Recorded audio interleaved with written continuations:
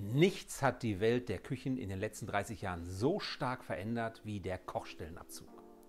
Was es so auf dem Markt gibt, welche Varianten wir in der Ausstellung haben, wir bringen euch einen kleinen Überblick über das Thema Kochstellenabzug.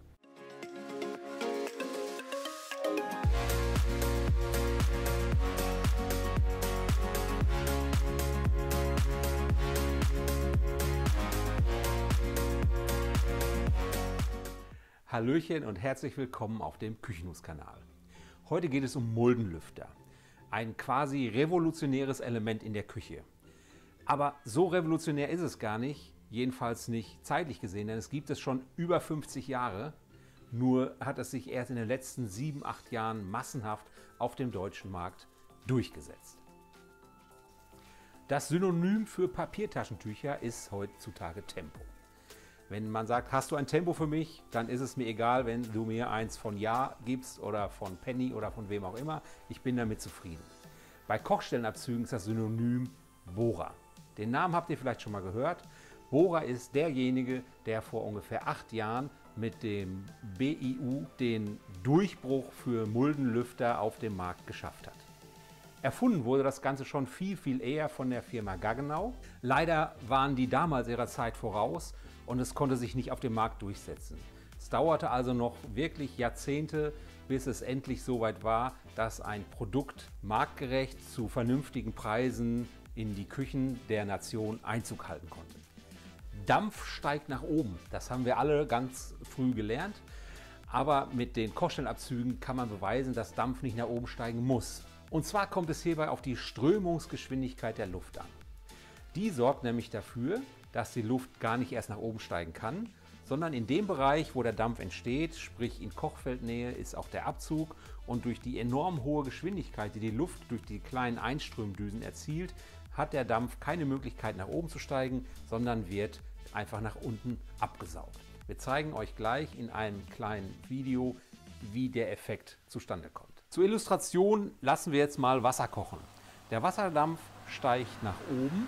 Die Haube oberhalb des Kochfeldes in einem vorschriftsmäßigen Abstand ist eingeschaltet auf höchster Stufe und ihr seht, wie der Dampf, trotzdem dass die Haube auf ganz hoch läuft, nicht wirklich überall abgesaugt wird. Das liegt unter anderem daran, dass wir eine enorm große Fläche haben, aus der die Luft angesaugt wird. Das heißt, auch wenn hier 600, 700 Kubikmeter pro Stunde umgewälzt werden, ist die Strömungsgeschwindigkeit sehr gering weil die Fläche, durch die die Luft strömen kann, extrem groß ist. Um euch die Wirkungsweise von den Muldenlüftern besser zeigen zu können, benutzen wir ein mobiles Nebelgerät. Äh, das macht die Luftströmung viel besser sichtbar, als wenn man nur Wasserdampf hat. Alle Kochstellenabzüge, die wir euch zeigen, funktionieren mit Induktion. Das Tolle bei Induktion ist ja, dass man nicht nur einfach Töpfe draufstellen kann, sondern man kann zum Beispiel auch eine mobile Grillplatte benutzen und kann dann direkt am Kochfeld mit einem super gut funktionierenden Dunstabzug seine Steaks grillen oder seinen Fisch oder sein Gemüse, was auch immer. Damit ihr die Größen und die nutzbaren Flächen der Muldenlüfter besser vergleichen könnt, benutzen wir von Miele diese schöne Grillplatte. Die hat nämlich den charmanten Vorteil, dass sie genauso groß ist wie zwei, Koch, äh, wie zwei Kochplatten auf dem Miele Kochstellenabzug. Wie der Gaggenau Kochstellenabzug funktioniert, habt ihr ja gerade schon gesehen. Jetzt kommen wir ein, zu ein paar Details. Das Besondere an dem Gaggenau ist zum Beispiel, dass die Knöpfe von vorne sind. Das heißt, die Bedienung ist nicht oben, abgesehen von der Bedienung für den Lüfter. Das ist oben auf der Kochstelle. Das Gaggenau Kochfeld ist riesengroß mit 91 x 52 cm ist es das größte, was wir in der Ausstellung haben. Wir haben hier die flächenbündige Variante eingebaut, sehr schick, sehr stylisch. Technisch ist noch dazu zu sagen, hier könnt ihr sehen, wie groß der Anteil der Fläche ist in Bezug auf das Element. Ihr seht, hier ist auf jeder Seite richtig viel Platz. Auch dieser riesengroße Topf findet Platz. Und das Besondere an dem Gaggenau Kochstellenabzug ist außerdem, dass man unten drunter nur einen 60er Schrank braucht. Die Umluft bei den Kochfeldern von Gaggenau wird ungeführt geleitet. Das heißt, ich habe auch keinen Verlust an Stauraumtiefe sodass ich alles benutzen kann, was der Schrank an Stauraum bietet.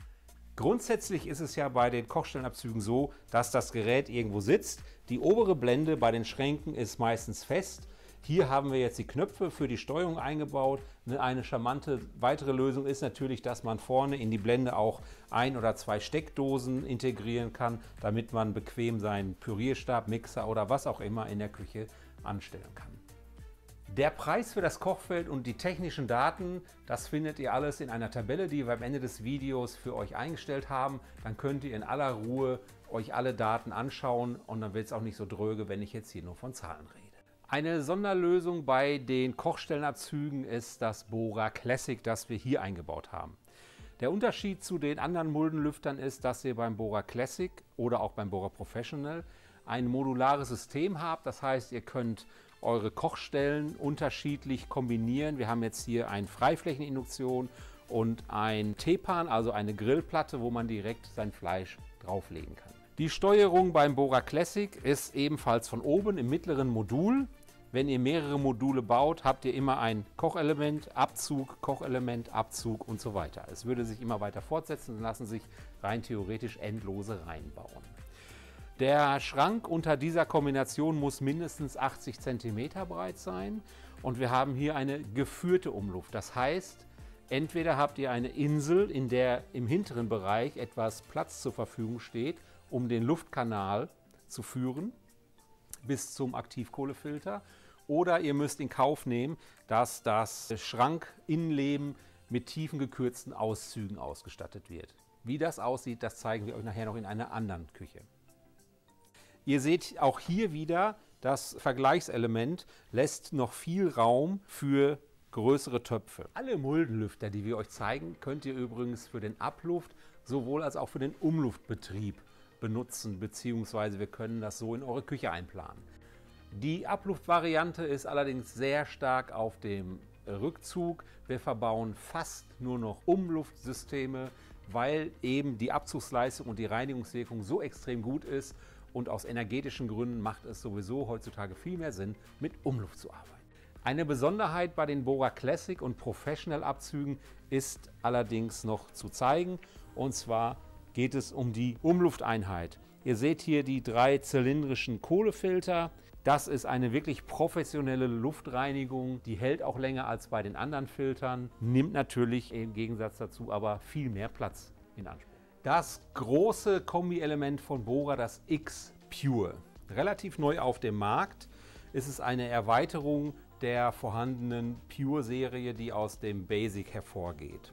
Wir haben hier ein Kochfeld von 83 cm Breite mit extrem großen äh, Flächeninduktionselementen, wie ihr hier an dem Vergleichsmodul von Miele seht, bleiben unten noch locker 10 cm mehr Platz für Kochgeschirr. Und wie sich das insgesamt auswirkt, das zeige ich euch hier mit zwei wirklich sehr großen Töpfen, die man da ganz bequem draufstellen kann, ohne dass es Platzprobleme gibt. Am liebsten verbauen wir rahmenlose Kochfelder in Auflage, genauso wie es hier eingebaut ist. Der große Vorteil ist, wenn ich jetzt mal noch mehr große Töpfe habe, kann ich die ein bisschen überstehen lassen und das schadet überhaupt gar nicht. Und ich hätte jetzt die Möglichkeit, vier von diesen 28 cm Töpfen auf eine Kochstelle zu setzen. Also sehr, sehr viel Platz auf den Bohrer Kochfeldern. Die Steuerung des Kochfeldes bei Bohrer erfolgt im mittleren Bereich unterhalb von der Einströmdüse. Das führt eben auch dazu, dass ich rechts und links den Platz enorm zur Verfügung habe. Bei dem Miele KMDA ist es zum Beispiel so, dass die Steuerung über die gesamte Breite geht. Der Filterwechsel bei allen Bora Pure Abzügen ist übrigens extrem einfach. Einströmdüse rausnehmen, Fettfilter rausnehmen und schon könnt ihr den Aktivkohlefilter herausnehmen. Ein weiterer Hersteller von Kochstellenabzügen ist die Firma Elica. Hier mal ein weißes Kochfeld in einer weißen Küche.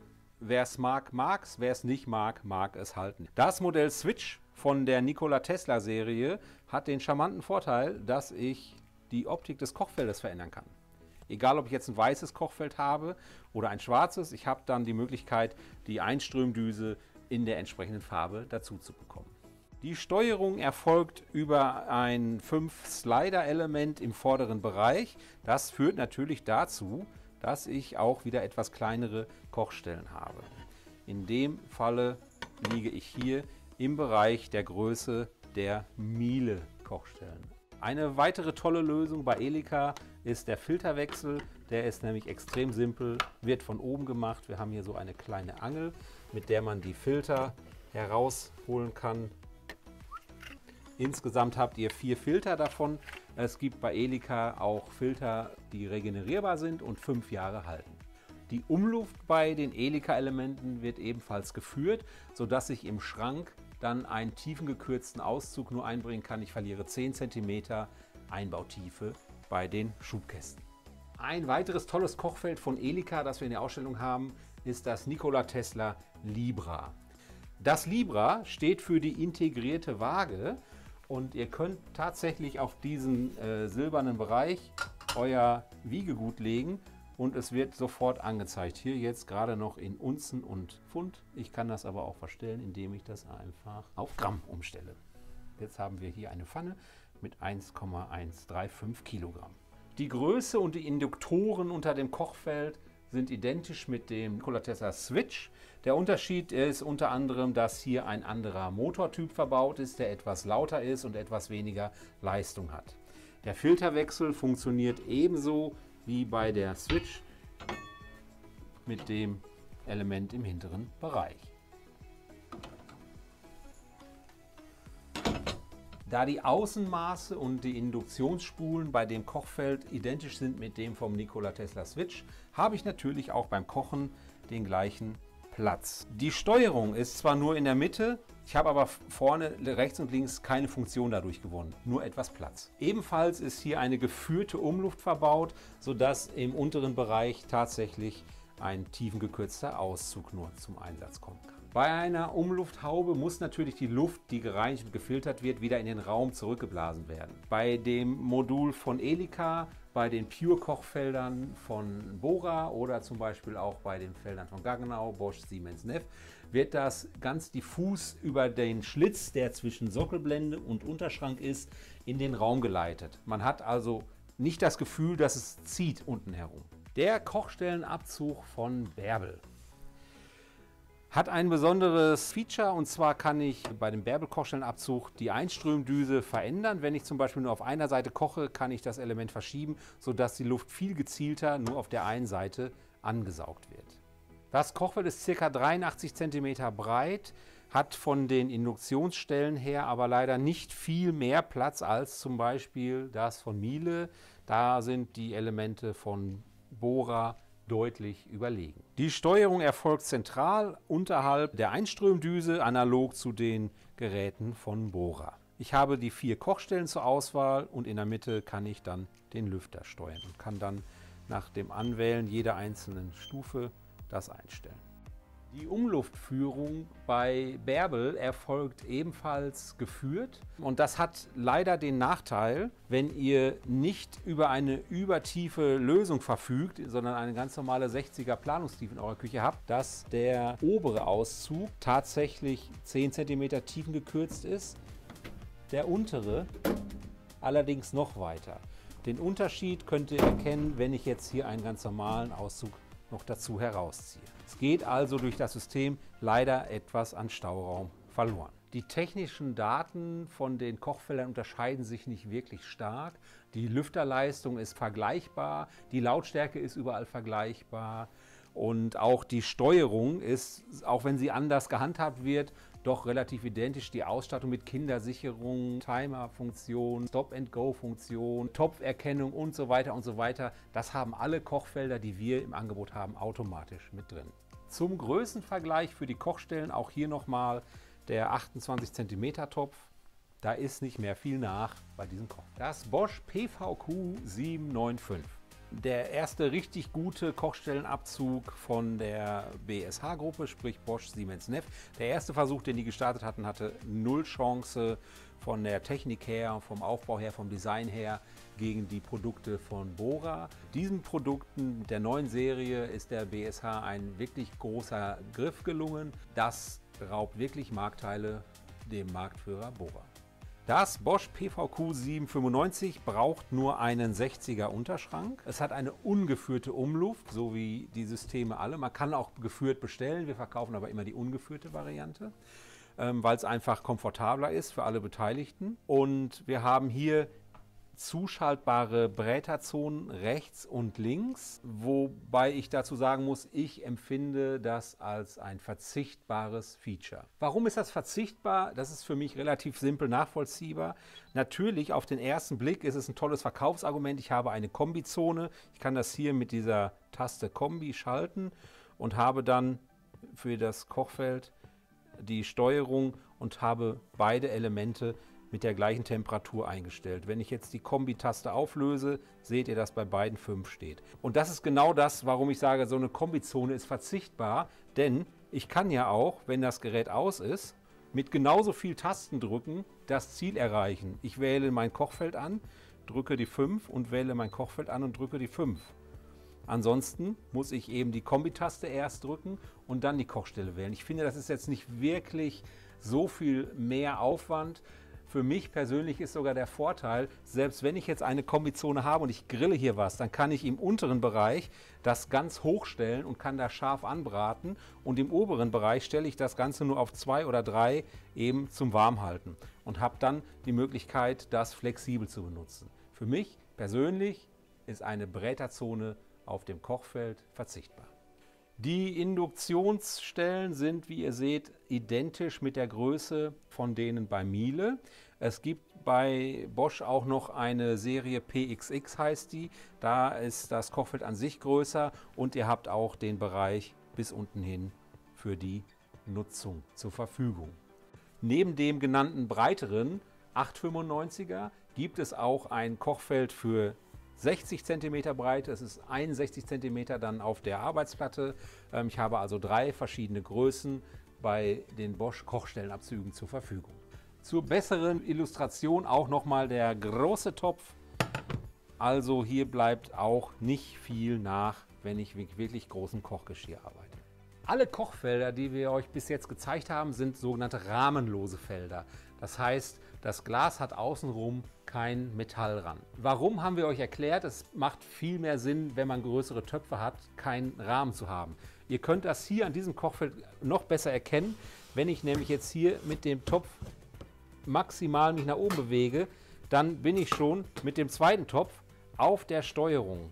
Und ich kann den oberen Topf nicht nach hinten weiter schieben, weil wenn ich das tue, es geht zwar technisch, dann erhitzt sich aber der Metallrahmen und der Kleber würde sich lösen und damit würde die Verbindung aufgehen und es wäre halt beschädigt. Zu guter Letzt zeigen wir euch die neueste Errungenschaft, die wir im Studio haben. Es handelt sich um das Bora S-Pure, das kleine Bora-Kochfeld mit einem 60er Glas. Bora ist hier einen Weg gegangen, das Ganze asymmetrisch zu machen. Das hat in meinen Augen extrem viele Vorteile. Der Wettbewerb macht das immer alles schön gleich, aber Bora ist ein bisschen anders und das ist auch gut so. Durch diese Asymmetrie haben wir nämlich die Möglichkeit, obwohl wir nur 60 cm Kochstelle haben, unser Vergleichselement zu verschieben und Sie sehen, das sind noch locker 12 cm zusätzlicher Platz. Wir haben bei dem Bora S Pure eine Kochstelle mit 21, eine mit 18, eine mit 14 und eine mit 10 cm Durchmesser. Somit kann ich alle Möglichkeiten bedienen und habe trotzdem nur wenig Platz verbraucht. Jetzt fragen sich vielleicht die Leute, die keine Erfahrung mit Kochstellenabzügen haben, was mache ich denn eigentlich, wenn ich hohe Töpfe habe? Saugt das dann immer noch ab? Natürlich, denn dafür gibt es unser Multicolor Hochtopf-Absaugsystem. Das ist natürlich völliger Unsinn. Es handelt sich hier um farblich angepasste Einströmdüsen. Bora bietet das an, um der Küche einen farblich anderen Touch zu geben. Wir verkaufen das tatsächlich relativ häufig. Es gibt dem Kochfeld gleich ein anderes Aussehen und jeder kann sich ein bisschen mehr selbst verwirklichen.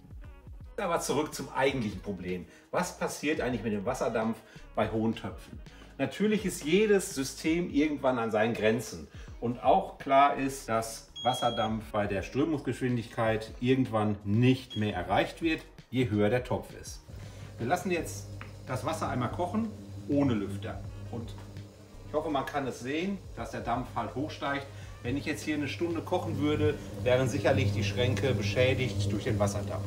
Jetzt kann ich den Lüfter aber einschalten. Und dann sieht man, dass ein Großteil der Luft tatsächlich schon in Richtung Einströmdüse gezogen wird.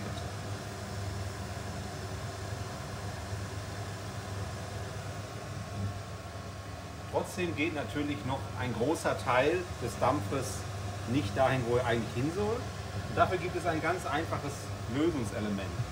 Und zwar nehme ich einen handelsüblichen Kochlöffel und klemme ihn einfach zwischen Deckel und Topf und kann so bei stark verringerter Lüfterleistung trotzdem sämtlichen Dampf einziehen. Noch besser funktioniert das Ganze natürlich mit extra für Kochstellenabzügen konstruierte Töpfe, die hier einen definierten Luftauslass am Deckel haben. Wenn ich den aufsetze, dann kann ich auch bei höchster Stufe kochen. Alles an Dampf wird eingesaugt und ich kann natürlich bei geschlossenem Deckel die Kochhöhe, die Einstellung der Platte reduzieren und letztendlich noch weiter auch den Lüfterstrom reduzieren. Und jetzt kocht das Wasser sprudelnd, aber es wird trotzdem alles eingesaugt, obwohl wir nur auf Stufe 4 das Ganze laufen lassen. Also auch hohe Töpfe, kein Problem mit Kochstellenabzügen. Luftführung, Steuerung, Filterwechsel natürlich bei dem S-Pure genauso wie beim Bora Pure und beim Bora X Pure. Der Miele KMDA Kochstellenabzug hat neben der gewohnten Miele-Qualität auch noch eine ganz hervorragende, komfortable Steuerung im vorderen Bereich des Feldes über die gesamte Breite. Das führt zu den bereits erwähnten Einschränkungen in der Größe der einzelnen Kochstellen. Ein weiteres Feature, was mir persönlich bei dem Miele Kochstellenabzug nicht so gut gefällt, ist der definierte Luftauslass. In dem Bereich muss im Sockel ein Loch geschnitten werden, wo der Filter sitzt, der die Luft von den Geruchsstoffen filtert und in dem Element kommt dann auch die gesamte Luft definiert in den Raum rein, sodass an der Stelle tatsächlich auch eine spürbare Strömung erzeugt wird, was viele Menschen als unangenehm empfinden könnten. Wir blenden jetzt nochmal für euch die Tabelle mit den technischen Daten, Preisen und ein paar Ausstattungsmerkmalen ein. Da könnt ihr pausieren und euch das in Ruhe angucken. Bitte nagelt mich nicht auf Kommastellen oder ähnliches fest. Das ist alles aus den Katalogen übernommen. Ich kann leider keine Gewähr für die Korrektheit der Daten übernehmen, aber für einen groben Überblick reicht es bestimmt. Vielen Dank an alle, die sich die Mühe gemacht haben, bis hierher zuzuschauen. Wenn ihr Vorschläge für weitere Videos habt, schreibt es in die Kommentare. Wir schauen mal, ob wir was drehen können für euch. Wenn ihr wissen wollt, welche Werkzeuge oder Hilfsmittel wir in den Videos verwendet haben, schaut auch einfach unten nach, da schreiben wir das immer rein. Wenn ihr weitere Videos von uns sehen wollt, könnt ihr da klicken. Wenn ihr unseren Kanal abonnieren wollt, worüber wir uns sehr freuen würden, könnt ihr das natürlich gerne auch tun. Außerdem freuen wir uns, wenn ihr uns ein Like dalasst und selbstverständlich auch die Glocke aktiviert. Tschüss!